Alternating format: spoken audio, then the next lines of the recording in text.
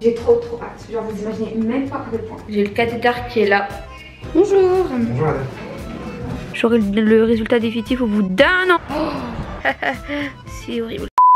Hello tout le monde, j'espère que vous allez bien. Je suis trop contente aujourd'hui de vous retrouver dans cette nouvelle vidéo qui est très très particulière. Vous l'avez vu par rapport au titre, demain c'est le grand jour, je vais enfin me faire opérer du nez. Ça fait tellement longtemps, enfin en fait depuis que je suis toute petite que je sais qu'un jour de ma vie j'ai avoir recours à une rhinoplastie parce que j'aime pas mon nez en fait, c'est genre la pointe de mon nez que j'aime pas qui est vraiment trop carré surtout quand on le regarde d'en bas.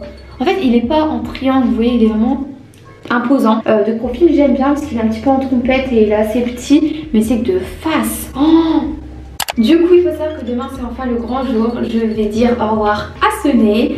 Euh, je vais me faire repérer par le docteur Gerbeau. Il se trouve sur Paris et c'est l'inventeur de la rhinoplastie ultrasonique. La rhinoplastie ultrasonique, c'est une rhinoplastie qui est beaucoup plus douce, qui est beaucoup moins violente pour le corps humain. On aura moins de bleu après l'opération, on aura moins de gonflement, etc. Et on peut reprendre une vie normale, genre quasiment une semaine après l'opération. Donc c'est pour ça que je vais me diriger vers ce chirurgien qui utilise des méthodes beaucoup plus douces et beaucoup plus conservatrices. Euh, il faut savoir qu'il travaille vraiment pour avoir en fait des nez naturels. Moi j'ai pas envie d'avoir un nez en trompette tout petit et tout. Non, moi j'ai envie d'avoir le même nez que j'ai actuellement, mais un petit peu plus naturel, donc un petit peu plus affiné, tout simplement plus harmonieux. Si ça vous intéresse de savoir un petit peu euh, comment fonctionne cette rhinoplastie ultrasonique et conservatrice, je vous laisse tous les liens en barre euh, de description. Au moins vous allez en apprendre un peu plus sur ce que Docteur Gerbeau fait. Dites-vous que j'ai retiré mon piercing au nez. Alors franchement j'étais dégoûtée parce que mon piercing au nez je l'adore. C'est genre le piercing que je préférais sur moi. Donc du coup bref voilà moi je vais vous laisser, je vais aller dormir, je vais pas dormir trop trop tard pour demain être en pleine forme pour cette opération et pour la vidéo. Du coup bah, bref moi je vous dis à demain et, euh, voilà pour vous en dans une seconde.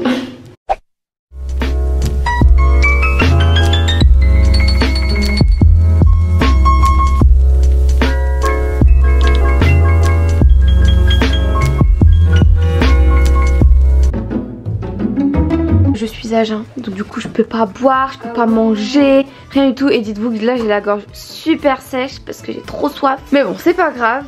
Euh, du coup ben on se retrouve tout à l'heure face à la clinique. Bon là du coup on est parti on est dans les rues de Paris, il y a vraiment personne parce qu'il est très très tôt alors Loana, est-ce que tu es prête? Est-ce que tu es stressée? Non, j'ai trop hâte.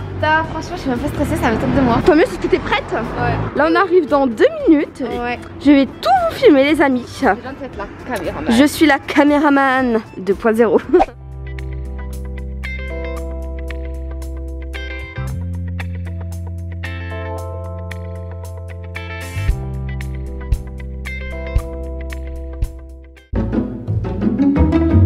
du coup Lolo elle est en train de se préparer. Youpi la dégaine qu'on adore.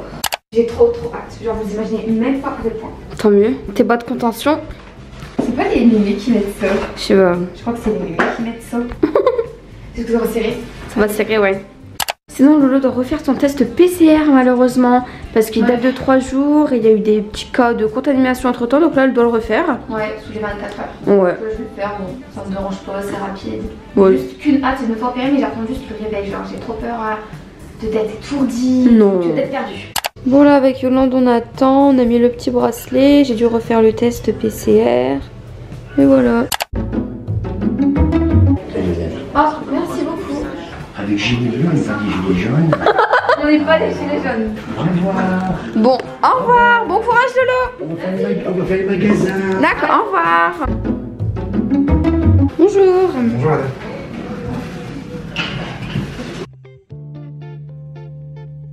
Ça va Lolo, un peu fatigué Ouais. Oui, mais ils, ils reviennent. Oh, oh. Rigole pas, ils reviennent. T'as pas mal, tant mieux. Bah, c'est bien.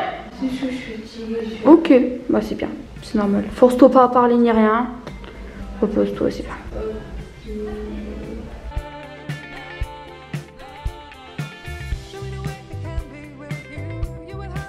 Du coup, je vous mets des compresses sur les yeux. Ça va permettre de dégonfler. Des compresses bien fraîches. Ah oui, c'est C'est pas grave. L'essentiel, c'est que ça dégonfle. Il est 19h, Lolo elle se rhabille. Là on Oui. peut rentrer. On voulait rentrer à pied mais il y a quand même 20 minutes donc euh, on va prendre le métro plutôt. hein. Et voilà, ça s'est très bien passé donc on est très contente. Docteur Jarbon est venu, il m'a montré les photos et je suis trop contente. Des photos qu'il a prises au blog parce que mon nez il est très naturel. Et il est hyper rassurant, genre il vient tout le temps nous voir et tout pour nous expliquer tout. Enfin franchement, je suis, je suis- même moi je suis soulagée en fait, vous voyez. Donc c'est vraiment cool. Donc là c'est parti, on rentre. À tout de suite. Coucou tout le monde, j'espère que vous allez bien. Aujourd'hui c'est le deuxième jour après l'opération. Hier je ne vous ai pas pris étant donné que j'étais toute la journée euh, dans les transports en commun. Il faut savoir que mes lèvres ont euh, doublé de volume et euh, mes joues pareil. hein, on dirait un petit hamster. Ensuite ici je suis un peu rouge à cause de la mouchette que je mets de temps en temps parce que je me mets un scotch au niveau de mes paupières et ça ça me... Ça fait un petit peu mal. Niveau douleur, Je peux vous assurer que ça me fait mal. Bon, je me dis que c'est pas grave, faut juste que je prenne mal en patience et demain ça ira déjà mieux. Je me dis que chaque jour ben, iront mieux au fur et à mesure. Euh, là, c'est absolument pas euh, le résultat définitif. hein. J'aurai le résultat définitif au bout d'un an pour vous dire. Bon, moi je vais vous laisser, je vais continuer le montage. Aujourd'hui, je fais rien en particulier, je reste vraiment dans ma chambre à travailler. Euh, et voilà, moi je vous fais des gros bisous et du coup, on se retrouve demain pour ben, vous montrer la petite évolution. Hello tout le monde, j'espère que vous allez bien. Aujourd'hui c'est le troisième jour.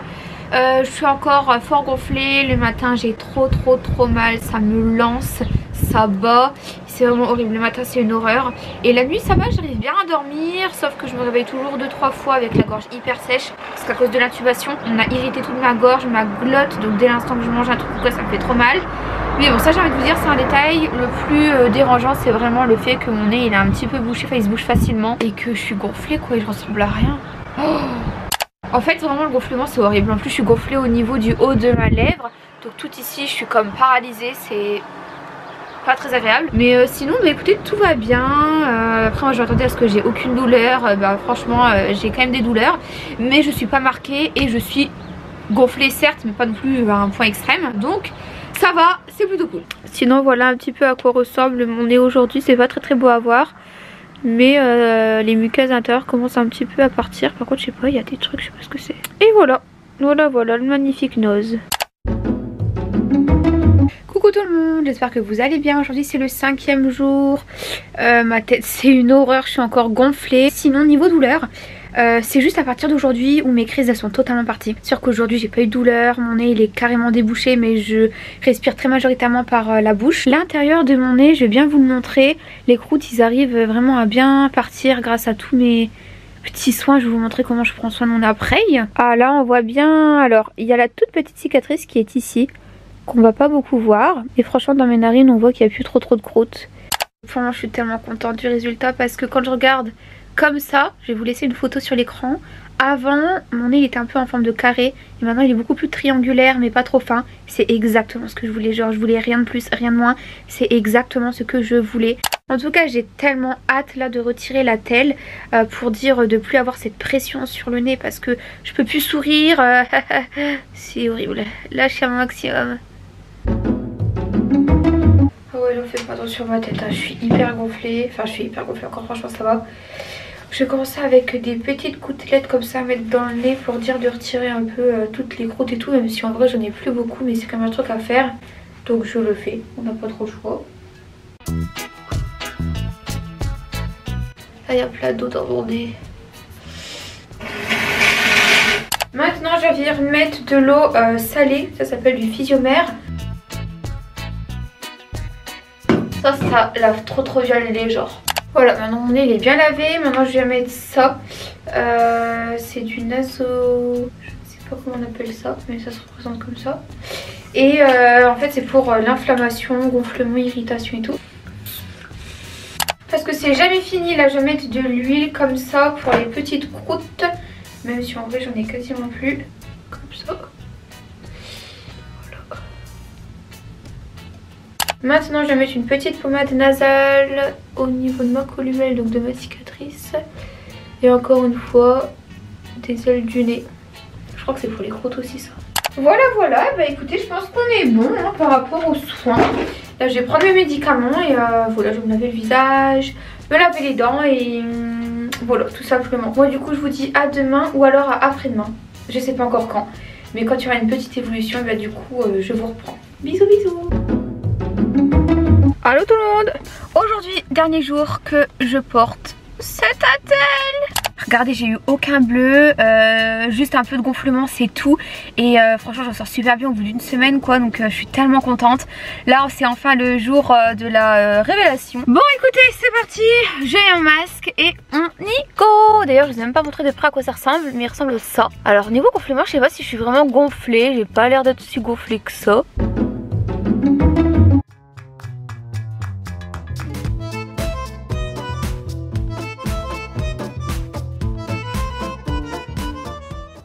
est-ce que vous êtes prêts? Est-ce que vous êtes prêts à voir mon nez? Oh my god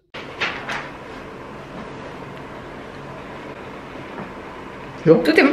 Voilà, donc voilà, le, pansement à faire, c'est ça, c'est très important. Ce pansement, c'est un strapping pour le nez. Donc le but, c'est de comprimer le nez le maximum pour qu'il dégonfle le plus vite possible. Voilà comment c'est dégonfle. Il y a d'abord trois bandes à mettre de haut jusqu'en bas, d'un côté à l'autre donc le premier, on commence tout en haut et on va d'une joue à l'autre. Et vous appuyez bien, vous pouvez appuyer, votre nez est solide. Ah ouais. Comme rien n'a été cassé, tout a été juste sculpté au niveau du nez et ça a été renforcé, vous avez vu, donc votre nez est très très solide. Donc la deuxième, on la met un tout petit peu plus bas. Et encore une fois, on appuie bien. Et la dernière, c'est au niveau de la pointe, donc encore plus bas, d'un côté à l'autre de la joue. Donc ça, c'est les trois premières bandes. Les trois premières bandes on voit marqué ici 1, 2, 3. Ensuite, il y a deux bandes perpendiculaires à celles que je viens de mettre qu'on met au sommet du nez. Au sommet du nez, ok. Voilà. La première du côté droit. Alors, vous êtes droitière ou gauchère? Droitière. Donc, du côté droit, c'est une bande qui va dépasser de 2 cm de la pointe du nez vers le bas. 2 cm en dessous. Et de l'autre côté, c'est une bande qui va dépasser de 4 cm de la pointe du nez vers le bas. D'accord? Pourquoi un petit peu plus? Alors, vous allez voir tout de suite. Ah. Parce qu'après, vous allez coller l'une contre l'autre, comme ça. D'accord juste là. Et là, vous allez tirer et pincer. ça fait toujours un petit peu mal au début, mais le but, c'est de bien, bien comprimer la pointe juste là. D'accord Et la petite bande qui est là, hop, vous la collez sur le côté. D'accord? Ok. Donc ça, c'est pour comprimer la pointe. Très bien. Et le tout dernier, c'est juste au-dessus de la pointe. on doit quasiment plus voir la pointe euh, avec, euh, une fois que vous avez fini le, le pansement. D'accord? Ça marche. Alors, celui que je fais aujourd'hui, je vais vous demander de le garder pendant une semaine sans y toucher. Donc je vais le renforcer, juste pour que ce soit un petit peu plus joli. Ensuite, vous le ferez uniquement le soir, quand vous êtes chez vous, tous les soirs pendant trois mois, jusqu'à ce qu'on se revoie en consultation. D'accord? Et si vous restez chez vous le week-end, par exemple, vous êtes seul et que vous pouvez le garder, gardez-le le week-end. Vous avez le droit de le garder plus. Hein. ok, donc en principal, c'est la nuit, mais si je suis toute seule chez moi, je peux le garder comme ça le plus possible, c'est mieux. Exactement, exactement. Donc là, j'ai juste renforcé un tout petit peu. Hop, voilà. Bon, c'est pas compliqué, il faut juste bien non, c'est pas compliqué, il faut bien et dans l'ordre. Voilà. D'accord. Exactement. Ok, bah très bien. Bon et bien voilà je me retrouve avec un sparadrap sur le nez puisque la pointe de mon nez est assez gonflée Ce qui est normal, j'aurai le, le, résultat définitif de la pointe au bout d'un an Donc c'est vraiment super long et j'aurai vraiment un résultat euh, significatif au bout de 3 mois Donc j'ai trop trop hâte la date à 3 mois Pour dire euh, bah, de enfin voir la pointe de mon nez bien affinée et sans odème c'est Loana, j'espère que vous allez bien, je vous retrouve 6 mois après mon introduction. Par rapport à la rhinoplastie, donc là vous me voyez avec un tout nouveau nez euh, en fait, je vais être totalement transparente avec vous. Je ne vous ai pas filmé 2 euh, mois, 3 mois, 4 mois, 5 mois après l'opération. Tout simplement parce que les 4 premiers mois après l'opération, j'étais tous les jours en train de cacher mon nez parce que je l'aimais pas, parce qu'il était trop gonflé. Et à cause de l'œdème que j'avais, et eh ben mon nez paraissait deux fois plus dévié. Donc franchement, je ne l'assumais pas demander à tous mes potes. Euh, je portais mon sparadrap vraiment tout le temps du matin au soir. Même la nuit, je le portais tout le temps pour cacher mon nez quoi, tellement je l'aimais pas. Aujourd'hui, ça va beaucoup mieux. Enfin, ça fait 2 mois que ça va mieux. Euh, de profil, voilà à quoi il ressemble. Enfin, surtout, je vais vous faire des avant-après, euh, juste après. Il faut savoir que ça fait 6 mois du coup que je me suis fait opérer, mon nez il n'est pas à sa forme définitive, c'est à dire que dans 6 mois encore mon nez sera encore beaucoup plus fin. Donc là il est encore un petit peu gonflé, euh, mais moi ça me dérange pas. Il est encore légèrement dévié parce que de base j'avais une déviation et le docteur Jarbo n'a pas touché à cette déviation étant donné que j'ai une déviation faciale en fait et que c'est très compliqué à toucher, enfin de toucher les déviations du nez, surtout quand ça vient de la symétrie du visage. Donc en fait, euh, voilà, moi aujourd'hui ce qui me dérange un peu sur mon nez, c'est encore cette déviation. Franchement, ça serait comme ça, ça serait parfait, vous voyez ce que je veux dire? Mais à la fois, euh, moi j'ai pas envie d'avoir un visage parfait, j'ai quand même envie d'avoir des petits défauts et tout, donc au final ce nez je l'aime bien malgré sa petite déviation, ça me dérange pas tant que ça, en tout cas ça me dérange plus du tout. Et, euh, et voilà, je suis vraiment super contente de m'avoir fait opérer pour conclure un peu tout ça L'opération euh, ne, fait pas mal parce que t'es endormi mais les 5 premiers jours c'est un peu douloureux. Et après franchement t'as plus de douleur, t'as plus rien du tout. Le seul gros problème c'est que vraiment t'es méga gonflé. Et ça c'est un gros problème psychologique et moral parce que t'oses pas te prendre en photo, t'oses pas sortir, t'oses pas parler aux gens droit, enfin face à face quoi parce que t'as un nez méga gonflé quoi, tu, on dirait un avatar genre le truc. Donc voilà, mais sinon euh, trop bonne expérience si ça refaire, je le referai vraiment vraiment. Et voilà tout simplement. Là maintenant je vais faire des petits avant après pour que vous voyez mon nez donc là c'est le profil. Oh le profil comment j'aime trop, il est encore un peu en trompette mais pas trop, franchement j'adore. Euh, de face, bon voilà, il ressemble à ça. Alors cette nuit j'ai pas dormi avec mon sparadrap ce qui fait qu'il est un petit peu gonflé au niveau de là donc ma déviation se voit un peu plus. Mais quand je mets mon petit sparadrap, je vous avoue que mon nez il paraît un peu moins dévié. En tout cas voilà, je suis trop trop contente de m'être fait opérer par Dr Gerbeau, il est absolument incroyable, il est super gentil, les suivis sont géniaux. T'as des suivis tous les 3 mois post-op et tout ça euh, ça s'arrête au bout d'un an je crois. Enfin bon bref. En tout cas t'as des bons suivis, il répond tout le temps, enfin c'est incroyable. Du coup j'espère que cette vidéo t'aura aidé, t'aura peut-être plu. Si tu veux te lancer dans les opérations, informe-toi bien sur cette opération. En tout cas je vous fais à tous de gros bisous, prenez soin de vous, on se retrouve très très vite et n'oubliez pas que le naturel c'est très beau mais si t'as un gros complexe, eh bien tu peux le résoudre. Gros bisous